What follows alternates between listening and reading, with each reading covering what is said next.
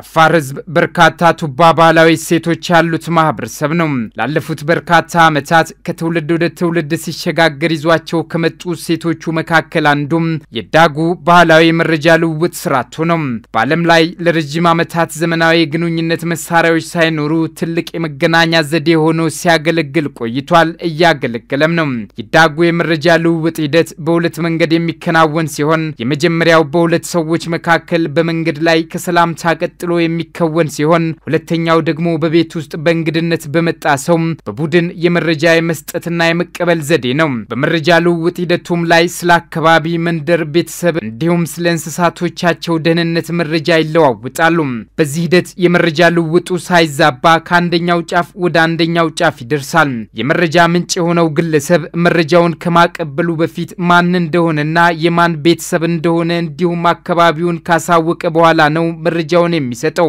ይህ ደግሞ መረጃው ያልተጣራ ሆኖ ቢገኝ እንኳን ኃላፊነቱን እንዲወስድ ለማድረግ ታስቦ ነው። ይህ የጾታ ልዩነት ሳይገድበው በሴቶችም ሆነ በሕፃናት እንዲሁም በወጣቶች የሚከወነው የመረጃ ልውውጥ ስርዓት የተጣራና የተረጋገጠ መረጃ የሚንሸራሸርበት በመሆኑም ሳንሰማው የሚያልፈን በሐሰት የሚያሳስተን ነገር የለም ያሉን በአፋር ክልል የአገር ሽማግሌ የሆኑት አቶ ኢብራሂም ብላይድ ናቸው።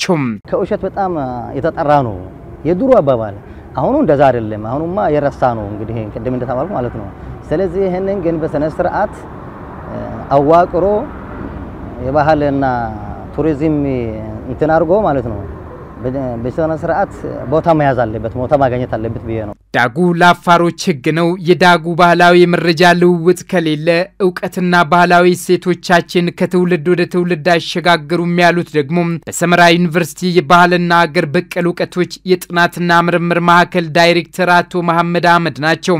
ዳጉ የአፋር ሕግ ነው። እንደ አፋር አፋሪ እንደ ሕግ ግዴታ የሚወሰድ ነገር ነው በአፋር ማህበረሰብ ውስጥ ዳጉ ሰላም ዳጉ ከሌለ ሰላም የለም። ዳጉ ከሌለ እውቀት ከሰው ወደ ሰው አይሸጋገርም የሚል እምነት ስላለው አፋር ዳጉ እንደ ግዴታ ከማንም ጋር የሚታይ ስለሆነ የመረጃ ልውውጥን የአፋር የመረጃ ልውውጥ ባህልን ወጣቱ ሳይንቅ ይሄ ለዘመናዊነቱ እኮ አንተ የራስህን ይዘህ ስትነሳ ነው ወደ እድገት ልትገሰግስ የሚችለው።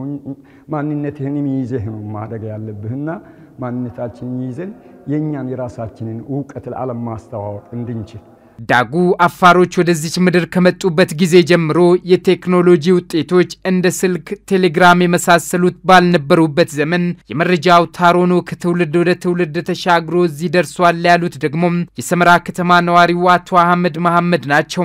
ሁሉም ቦታ ላይ ተመሳሳይ ነው ዳጉ። ጅቡቲ ላይ ብትሄድ የምታገኘው ዳጉ ሰመራ ላይ መጥተህ ታገኛለህ። ሰመራ ላይ የምታገኘው ዳጉ አሰብ ላይ ሂደህ ታገኛለህ። ይሄ ባህላችን ፍላጎቶቻችንም ነው። እኛም ዳጉ ማለት በቃ ምን እንዳደረ ምን እንደዋለ ለምሳሌ እዚህ ሆነን አሁን አማራ ክልል ምን እንዳለው እናውቃለን። ይሄ በአሁን ሰዓት በስልክ ሊሆን ይችላል። እኛ ግን ስልክ ሳይኖረው እናውቃለን። በአፋር ባህል ባህልን ከተውክ መከራ ይበዛብሃል የሚል አባባል አለ የሚሉት የክልሉ ባህልና ቱሪዝም ቢሮ ምክትል ኃላፊ አቶ አቢይ መሐመድ ወጣቱ ትውልድ በምዕራቡ ዓለም መጤ ባህል እንዳይጠመድ ሊሰራ ይገባል ባይ ናቸው። የዳጉ ባህላዊ የመረጃ ልውውጥ ስርዓት ፈጣን መሆኑን የሚገልጹት ኃላፊውም ክልሉ ያሉትን ቅርሶችና ባህላዊ እሴቶች በአግባቡ ተንከባክቦና ሰንዶ በማስቀመጥ ረገድ በዓለም አቀፍ እውቅና እንዲሰጠው እየተሰራ ነው ብለዋል። ሁላችንም ባህል መጠበቅ፣ መንከባከብ ያንን ባህላዊ እሴትን በተግባርና በስብዕና መላበስ የሁላችንም ኃላፊነት ነውና ቢሮም ደግሞ በራሱ መንገድ ባህል በመጥናትም በማስተዋወቅም በመልማትም እየሰራ ይገኛል።